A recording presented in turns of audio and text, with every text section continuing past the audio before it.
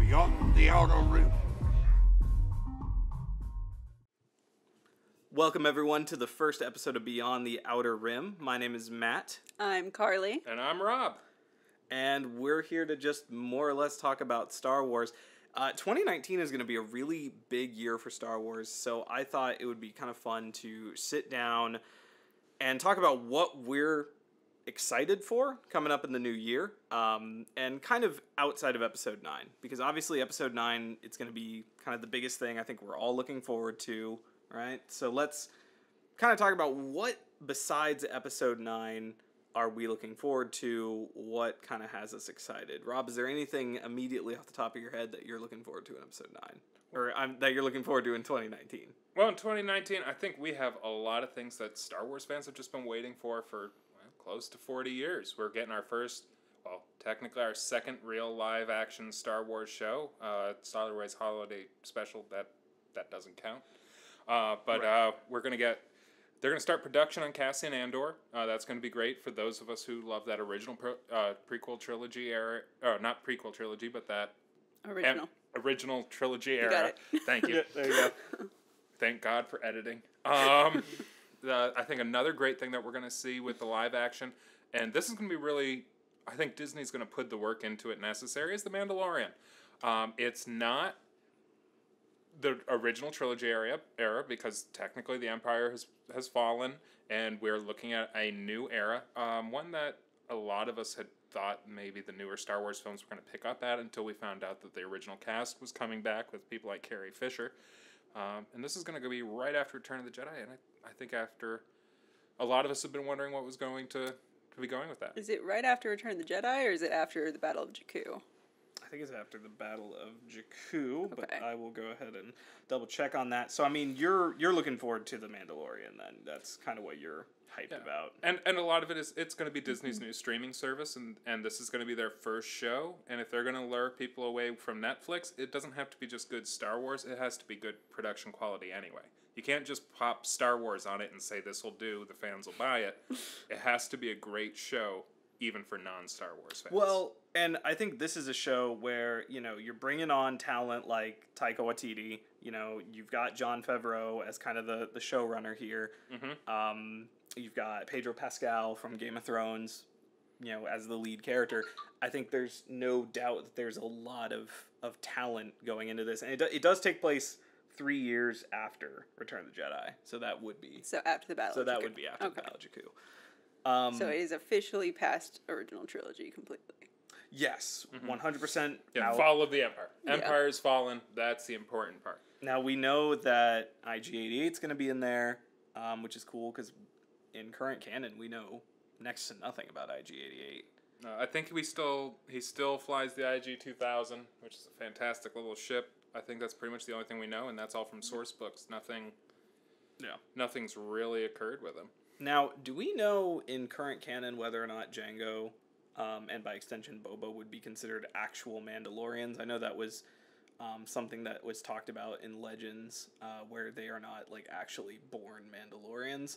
But I don't know if we know if that's true or not. I think as far as we know, they're Mandalorians. They're just not um, part of the society of Mandalore. Uh, I believe that based on what But the I don't know. prime minister, I believe it was, of Yeah. Mandalore said, I'm fairly sure that because of their ideas and the way that they think, they are rejected as Mandalorians more than anything else. Yeah. Because he was pretty much lumped in with the same group of people that became Concord Dawn. Yeah. Those people later took a, took control again of Mandalore under the Empire. So he's essentially Mandalorian, but the Mandalorians will not take credit for him. well, just the official government. yeah. And that's something to always separate. Your population's views may not be in line with that Well, of your government. yes.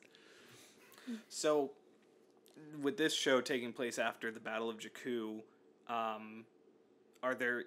What are you hoping to see in the show as far as world building? Because I know it's going to be kind of a lone gunman type story, from what I understand. But I mean, you know, the aftermath trilogy has kind of touched on the building of the New Republic. It's something that we've talked about in Bloodline.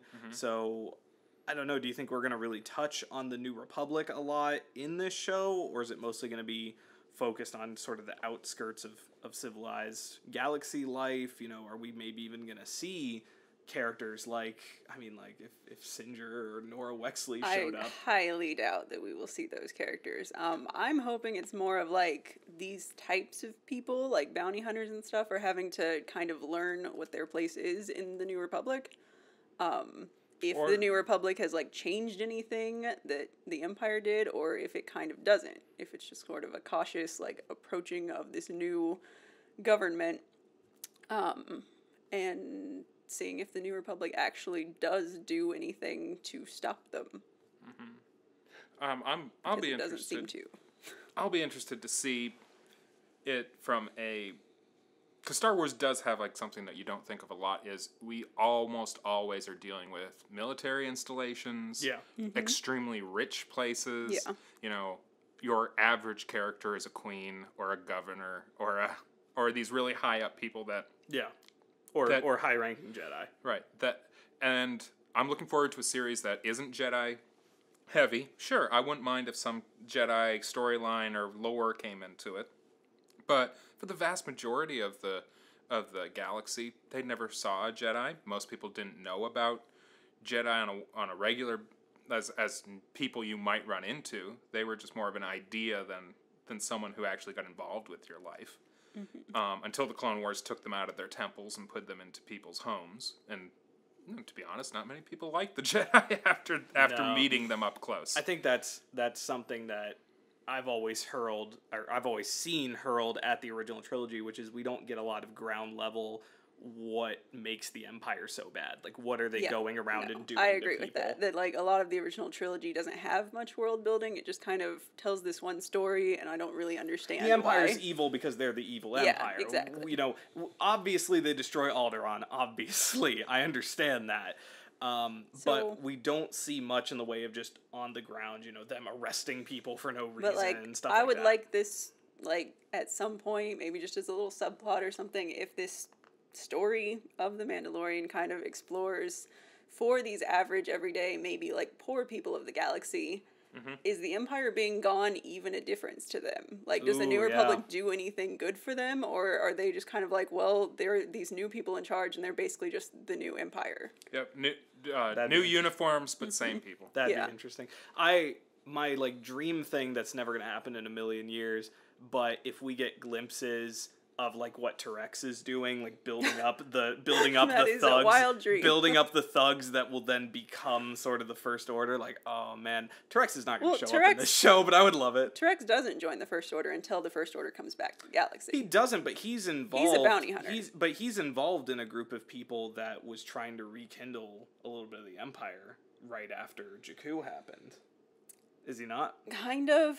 Yeah. Um, It's been a he's while since I've mostly just a bounty comic. hunter who reclaims like this Empire stuff, and um, they wear Imperial clothes and things, but they're just kind of doing whatever they want in the name of the Empire. Yeah. Um, and then when the First Order shows up, the First Order assumes that they'll be allies.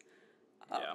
And I think that's really where the not. bounty hunters can become extremely interesting Yeah. because they've never been beholden to one side of the, or Mm-hmm. the other. Well, and when you look at like Bloodline, you can see that the New Republic has kind of struggled a little bit to get itself on its feet and to keep its momentum going. So I think right after the Battle of Jakku is the perfect time for this story because this is going to be I, I would be willing to bet we're going to see one of the most lawless times Yeah. in the in the galaxy. I think the Empire, which was a heavy-handed, very hands-on I mean, organization, the Empire started with like a clone army and everything. Like the New Republic has what's left of the rebels to enforce anything in the galaxy. Right. So I think it's going to be a really lawless time, and Mm-hmm. I think that's I think I think it's just going to be a hotbed for that kind of It's, stuff. it's going to be a western. Maybe. Yeah.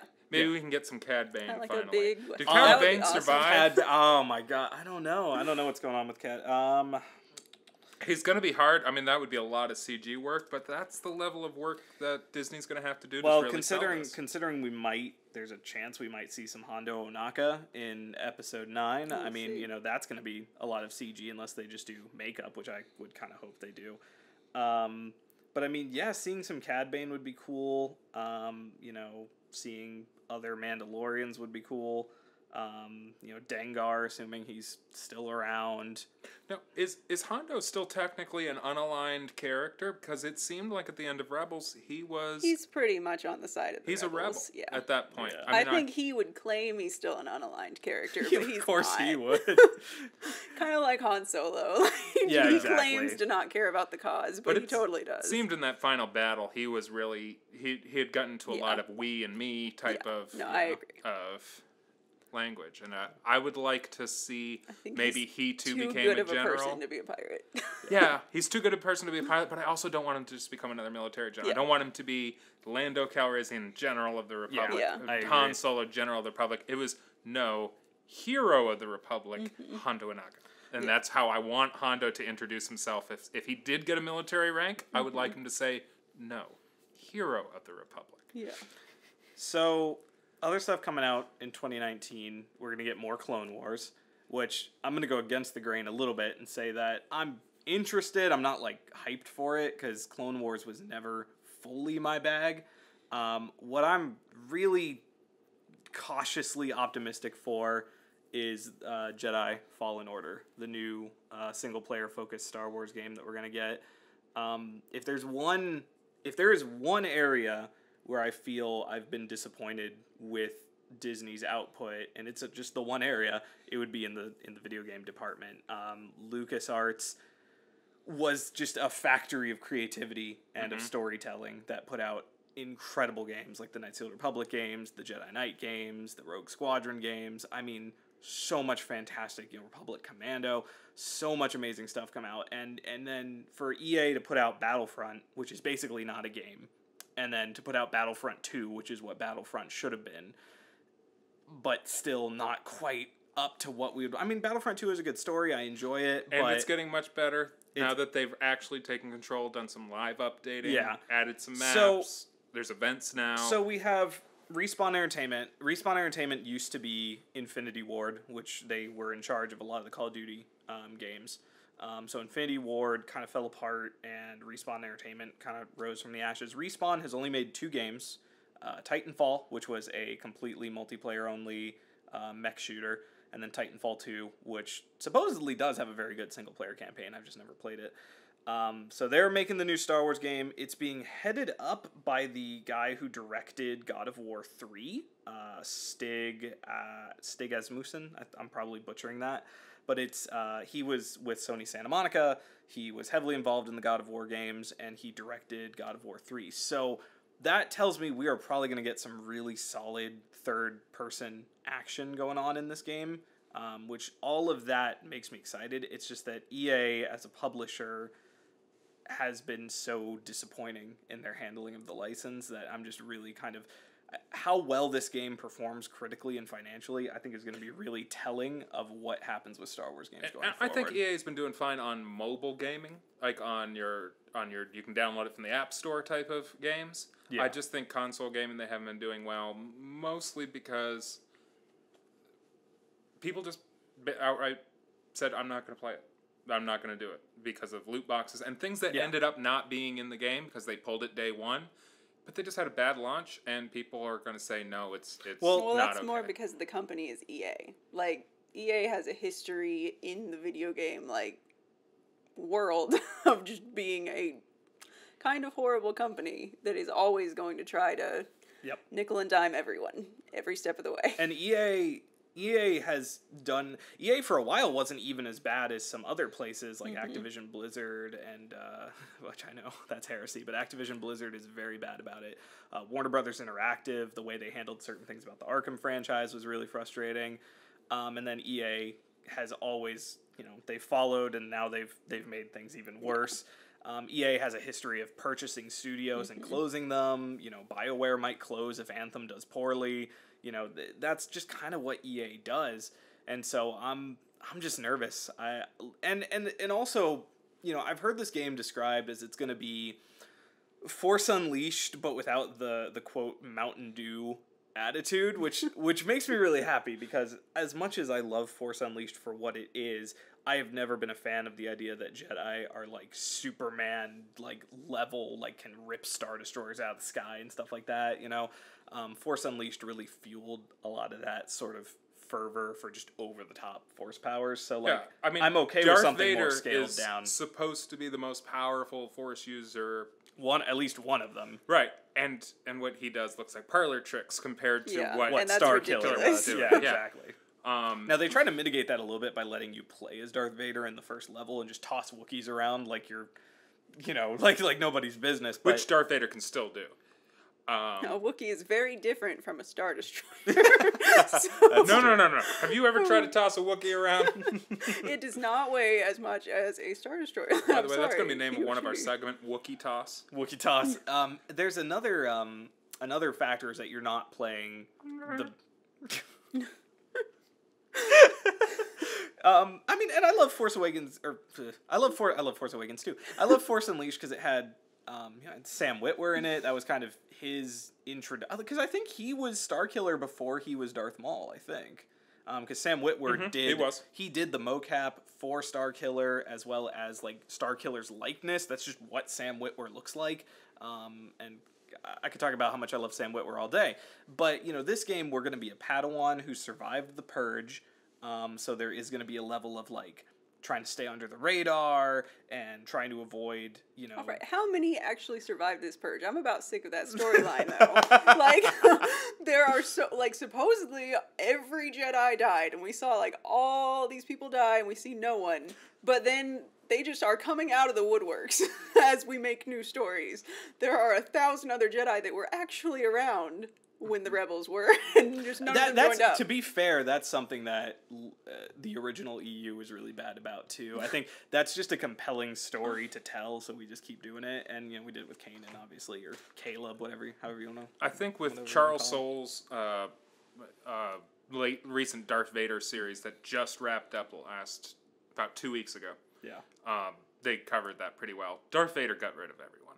yeah i mean But- once, Sure, once darth vader once darth vader once he becomes vader and the empire starts taking more power and i, I assume that's going to be a big part of the game you know I, I would be willing to bet we are going to have to fight darth vader um, and I I, mean, he still didn't get rid of Kanan if he supposedly got rid of Well, everyone. Kanan, Kanan Kanan stayed did. real low. Like Yeah. Kanan, he he laid low real hard. How? Like- he was part of the rebels. And the Emperor well, was I mean, well, because Kanan hung out with Hera and just kind of didn't use his lightsaber, and he just they weren't even like Hera wanted Except to do like more every to help. other episode. well, no, but I, no, that's my point. Is that like he didn't until the show starts. Mm-hmm. like Kanan and Hera were kind of being independent, and Hera so he's wanted like to do. the last ish survivor of Yeah, the like- like- second purge of Jedi. Yeah, like Hera. going. Hera wanted to do more for the Rebel Alliance at first, but Kanan wanted Mm-hmm. to lay low, and it's not until Rebels starts that he, like in front of the Empire, uses his lightsaber. and the Emperor was very clear to Vader. He's like, "Look, you've got all the big names. You've got everyone we care about. We've we've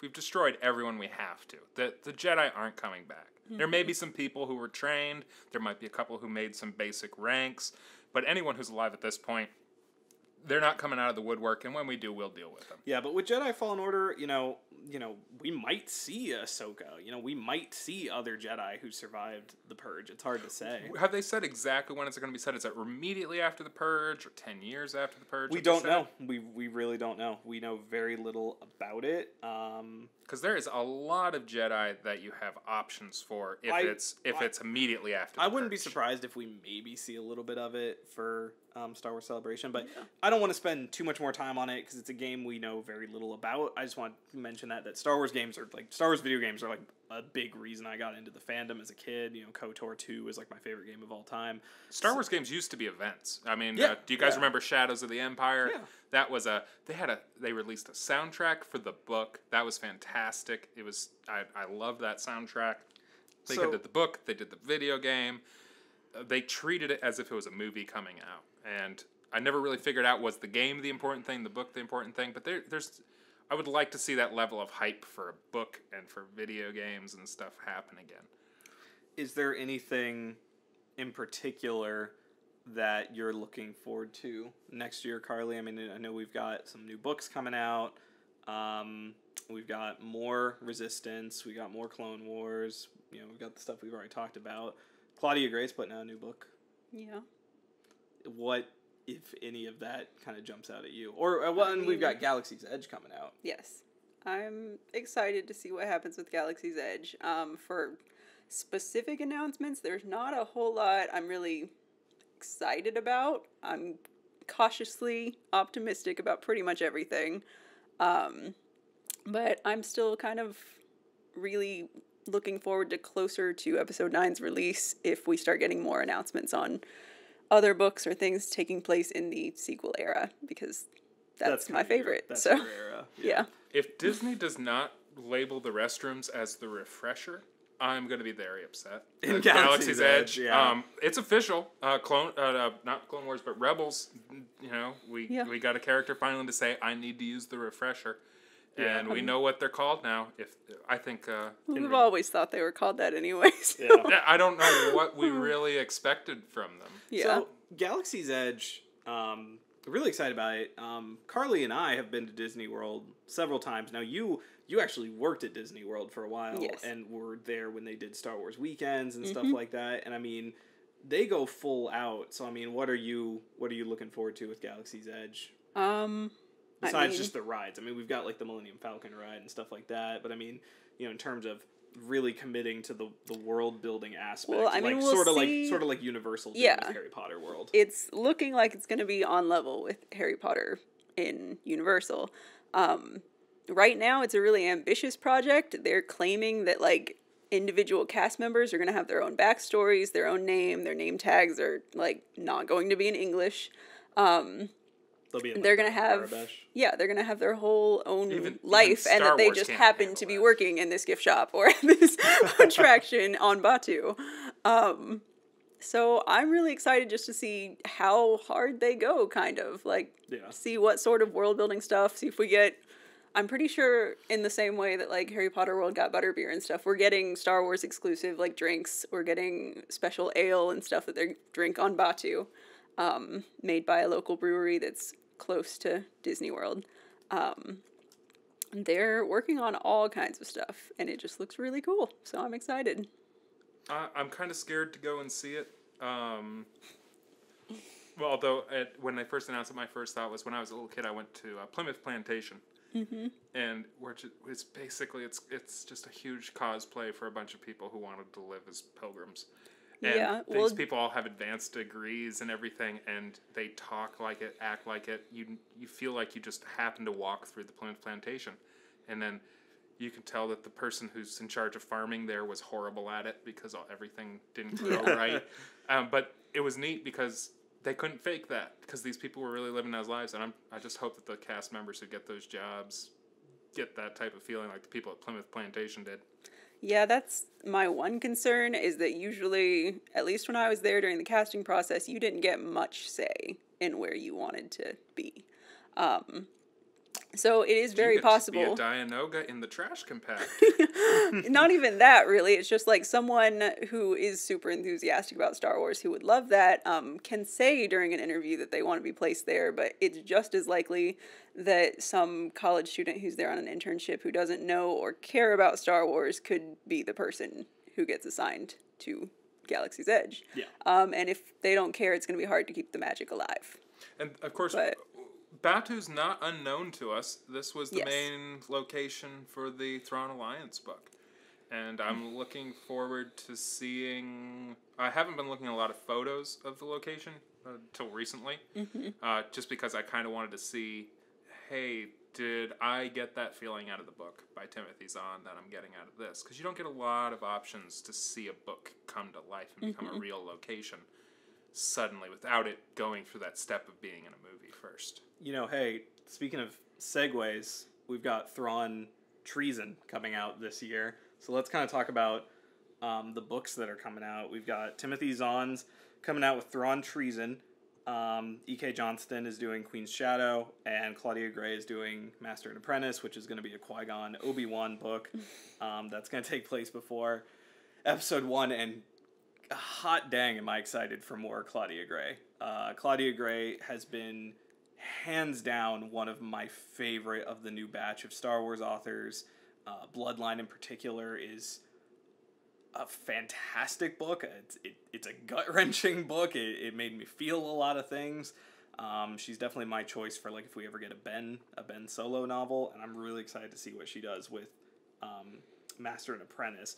Um, Rob, you've been keeping up with the Thrawn books a little bit more than I have. Do we know much about what Thrawn Treason is going to be about? I haven't heard a lot about what's going to be in it. Um, there's uh, there's some interviews with Timothy Zahn. I think the Star Wars Explained channel. When does it um, take had a good place? Well, what we know is that it's gonna be, um, you know, they're gonna talk about how like after Rebels or during So it Rebels, takes place. It's gonna be a- during like the it- last season. Yeah, of it's gonna it's because it's gonna happen after his Tie Defender program gets shut down. okay. So uh, because you know they're they're gonna talk about that, um, and it's essentially going to be But like, how?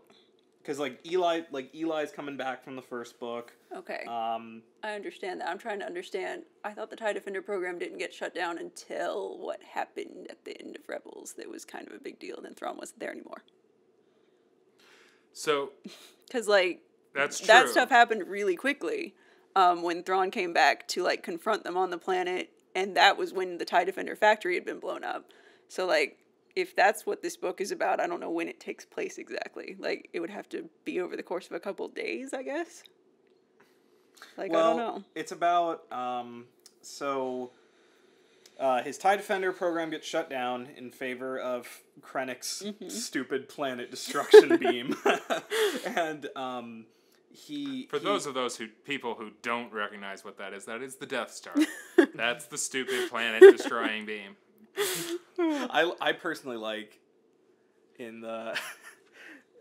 You know, never mind. I'm not even gonna go into it. But uh, I was gonna talk about in the Phineas and Ferb Star Wars Oh, special yeah. where he like Doofenshmirtz created the Death Star as like a way to crack like walnuts, and then he's like, they made it all big, and now you can't even crack a walnut with it.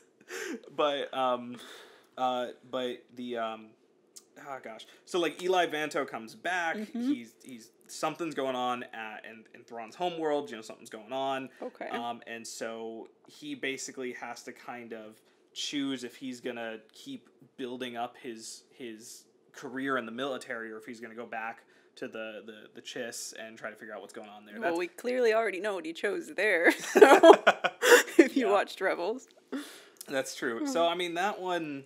and, and that's a the, the title's also interesting Mm-hmm. because one thing that kept popping, happen, popping up during Thrawn alliances was him and Vader. Really two conversations kept Mm-hmm. popping up. Yeah.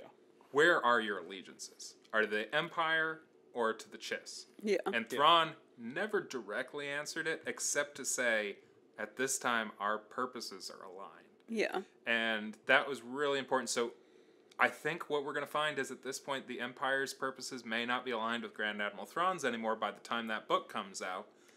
And, you know, they have some characters that have been, uh, actors who've been announced for the new Star Wars film that could fit the role of an older Grand Admiral Thrawn. Yeah, but did you not watch the last episode of Rebels? Like that kind of negates all of this stuff. well, the last, Like I'm not saying he's dead, but he clearly like it wasn't a choice that made him leave the Empire. It was more or less just being forced to. Right, and it does seem like the Emperor definitely trusts Thrawn Mm-hmm. at that point. So I don't know what the treason could be about. Yeah, that's just what I'm interested And to right. see They exactly only have, like, a four-day window. about. Mm-hmm. Because that all happens like right after each other. Because 'Cause we know when he leaves to go speak Yeah. to the Emperor, and we, We know when he comes back. all of it. so yeah. So I'm interested to see what it is, but I'm just a little confused on I don't really want it to like retcon or try to change anything that happened in Rebels because I think Rebels did a fantastic job with Thrawn. I think so too. So- um, and so I'm kind of curious to see where what they're gonna do there. And I mean, Thrawn and Ezra, you know, you'd be hard pressed to bring back one without explaining what's going on with the Yeah. other and bringing back the other, obviously. So I'm, I'm. But we're definitely bringing back Ezra Bridger. Ezra Bridger's, I think, going to become a huge character in Star Wars eventually. I just don't think Disney's Maybe. maybe. said what they're going to do with him yet. Yeah. Well, I mean, and that's kind of Dave Filoni's. You know, that's that's kind of was his style. You know, at the end of uh, you know when we had the big fight with Vader on on Malachor. You know, we didn't know what he was planning with uh, with Ahsoka, but we knew she was live. We knew she was alive. We knew she would come back. So I mean, you know, unless they know for sure that they're done with a character, Disney Star Wars has gonna done a good job of leaving things ambiguous, so that way they can always bring bring folks back. So, Yeah. You think we're going to see anything new with Ahsoka this year? well, Clone Wars. No, It's like oh, like post Rebels Ahsoka. Like I don't know. Right. I mean, The Mandalorian, we have some good chances there. What do we know about the new season of Clone Wars that's coming out, Rob? Uh, pretty much, it is finishing up storylines that were already finished before Disney bought the Star Wars title, the st- franchise. So it's not any new things that we haven't seen before. Uh, the audio was mostly released. Some previs work was already released. I think in the special features on one of the DVDs, they pretty much had the whole episodes. The episodes that they didn't get far enough to release in those special features became a comic called uh, Darth Maul, Last Son of Dathomir. It's So, so that makes me hopeful that we'll actually get a little bit more Darth Maul. uh, probably not because that comic series is the only Dark Horse comic series that's still canon. So if you if you want a really good read and you want more Darth Maul, that is a canon story. Yeah. from uh, Dark Horse. It's the only one that's still canon, and it's called uh, Darth Maul, son of, Last Son of Dathomir, and it picks up with Darth Maul is in it that the Emperor has. So, but but do you think that they're gonna do you think they're gonna take any of the the Darth Maul son of Dathomir stuff or any of the stuff from Dark Disciple with Ventress and Quinlan Vos, um, and some of the animatics we saw with like Boba Fett, you know, picking up the armor finally and going after like Cad Bane. I think we will. Do you think we're gonna Boba see Fett. any of that? I think we might see the Boba Fett. Just, I don't. It, my understanding is that they're just finishing out the the stuff that was already done or Okay. near finished production. And the truth is, we've seen most of that in one form or another because they released a lot of it thinking it was never going to see the light of day. Okay, gotcha, gotcha. So I don't hope for a lot. I I, I think it's going to be fun. I think it's going to be enjoyable. I think we're going to all have a. Those of you who like Clone Wars are going to still love this, but don't expect any earth-shattering new episodes or anything of that nature because I haven't heard of anything new being written for this. If it wasn't written before or the voice acting hadn't been done for it, they they're not. Doesn't seem like they're doing pickups for it. The only other show, um, the only other thing we the the other big thing we want to talk about is just you know what's coming up in Resistance. Yes. Um, Resistance has been a show Which- that We don't know that much about. They release No. it about three episodes in advance. Everything that we know. Um, because that's not a show like you know it's not like a big like it's thing. very just a episodic show continued so far, anyway. Now- um, which is to say, like I think Rebels, its entire first season was very episodic too. Um, so I'm not saying it's not going anywhere, but I don't know that it's going anywhere soon. Yeah, Rebels was honestly not a show that I got ever super into until we got to season three. To be Mm-hmm. honest, like Rebels was a show where I, I could enjoy it, but I, I never quite understood the the because I, I I didn't fully sit through Rebels until it was a little bit later, and, and most of it was on DVD. But it was a show that I didn't fully understand the hype for until I got to season three, and then I was like, okay, I'm I'm I'm now kind of really getting into this. And with Resistance, I've been enjoying it. You know, I think Kaz is really fun. Um, it's BB-8 continues to be in everything that's important. Apparently, BB-8 Oh, is those, just those junk dealers down on down in I don't watch this enough. I don't know their names. What are the name of the two junk dealers? I love those Oh, guys. um, I I think don't they're know what their amazing. names yeah, the two like the guys who run the shop. Yeah, They're amazing. I, I could watch an entire series of No, those. they're really fun. And we just recently finally got an episode that that took a- a slightly more serious turn. You know, they talked about Kylo Ren. The kids were were running from a, a planet where a village had been destroyed by the First Order, with Kylo Ren leading them. Um, and there's this kind of mysterious symbol that Captain Doza um, recognizes, but we don't really know what it's from. We also found out Captain Doza used to serve in the Empire. Yes, Captain Doza Um, used to be an Imperial. So there's a lot of interesting. We're finally laying the You can groundwork. tell from his mustache. Yeah, Yeah, I know. yeah, Sorry, As if I'm- you didn't already. I'm pretty sure if it wasn't for we saw Admiral Piet die in Return of the Jedi, he would have shown up later with this huge bushy mustache. Like you know, you don't know who I am. So we're laying the groundwork in that show. I think finally for some slightly more episode spanning stories, and I'm just eagerly awaiting when we're finally gonna get all the aces together to go on like some sort of big mission. Because that's what I'm excited for. I want to learn more about like like we have a Kel Dor ace that we know nothing about. We've got an ex Imperial Tie fighter that we know a little we, we don't know much about. So there's like all those aces there. Um, Doza's what is Doza's daughter's name? I don't know. because I really like her a lot. I'm bad at names in the show because they don't say them that often. Yeah, They I- say them like once. I feel, I feel bad that I don't know her name. Yeah. I really like her. I It hasn't been around long enough for me to Yeah. remember Um, everyone's name. But the show I've been happy with as far as just something fun to watch, and I'm, I'm always happy to see Poe Dameron come back. I'm always happy to see Mm-hmm. uh, Phasma show up in a thing. My my hope for that show is that as we get to the end of the first season, it starts to get a little bit more arky. We start to see what's going on here, and we know that just Kaz's little- dad is on. Isn't he on Hosnian Prime? No, we don't know that for sure. We, don't just know know, that he's sure. a senator, so he has like just could be If on you know anything Prime. about the New Republic, like he should be on Hosnian Prime if he's a senator. And we know this Um, show is going to run which- parallel yeah. with Force Awakens. And senators what- aren't running around doing diplomatic missions. Yeah, not it was nearly unheard of when Leia did Yeah, it on exactly. Bloodline.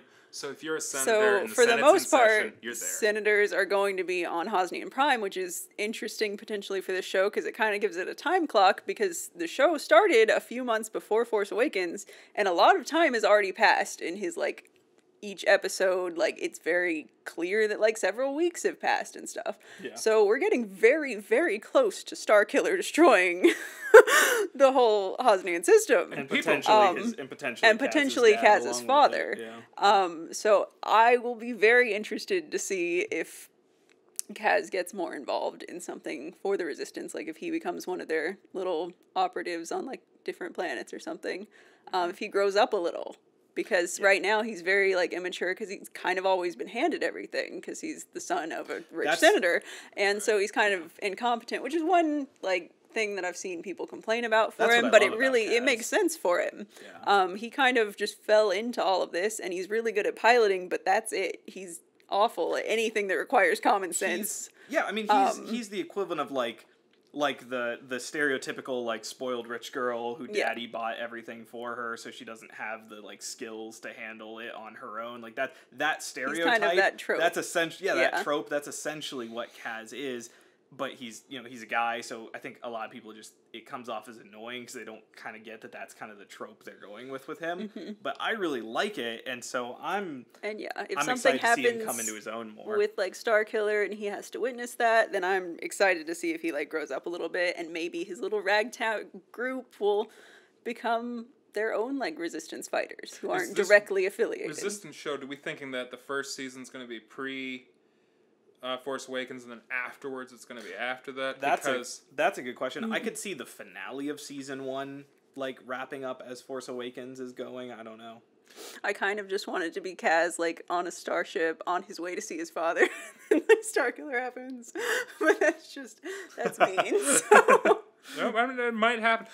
And I think it's also important to note Resistance really brings home the point that the First Order at this point is A fringe. it's a, a fringe group at best. It's a conspiracy. Yeah, I theory, mean that's essentially. that's completely what it is pre Force Awakens. Before they destroy Hosnian Prime, the government will not acknowledge that the First Order exists. This like is that's like- what half of the First Order's like mentality is. They're like, if they're not even going to acknowledge us with all of our star destroyers and stuff, then they're not fit to govern Well, this the world. this re- it reminds me of Like, it reminds me of like um of in Harry Potter when they don't want to yeah, say exactly. that Voldemort's we back. ignore Like, Voldemort it- forever until he completely owns That's, everything. that's what it and then- reminds me of, yeah. and I, I kind of really Yeah, I like can see that, that. about that. Yeah, I Yeah, really like that about I- their dynamic with the I'm First glad Order and the- Resistance put the focus back on the Yeah. the First Order's a myth. No Yeah. one outside of, the, of of this small group of people believes it exists, and it, it'd be Mm-hmm. And I essentially mean, the like same the people as who do are the like Illuminati Doza, and he blowing just thinks that they're showing up to like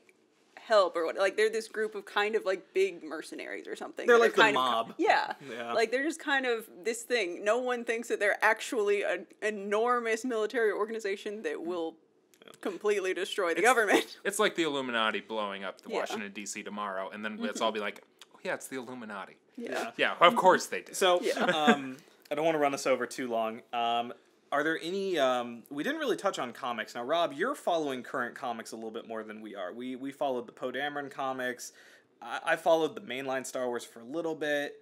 Um, I fell off it a little bit, but I did read, you know, the first run of Darth Vader. I read a little bit of the Doctor Aphra stuff. What's what's coming up in comics that you're excited about? Because we, we, I want to touch on that briefly before we close out here. So we just had a huge storyline finish up in comics. I've already mentioned it. The Charles Soule Darth Vader 2018 comics. Now Charles Soule was also the one who was writing Yes, the was Poe Dameron Dameron. comic, um, Yep. and he was doing some work for. As- well, that's that's unrelated. He was doing some X Men stuff, but that's not related. But go ahead. It doesn't matter. Charles Soule, I think, is uh, not to be too corny, but it's the soul of Star Wars comics right now. Okay. um, whatever he's writing tends to be fantastic. He sets things up well. He creates clear backstory where you say this is going to be brought back. See, that's interesting. I think he must just care about Darth Vader more because Poe Dameron, he really dropped the ball. Well, I think like, You really think so? I, th- Poe I think, Dameron, I think was Poe Dameron bad. is a. s- I think Poe Dameron was meant to be a mini that got turned into yeah, a short, it got a longer stretched way too long because a lot of his plot lines and stuff just stop making sense toward the end of Poe Dameron, or they get cut really short.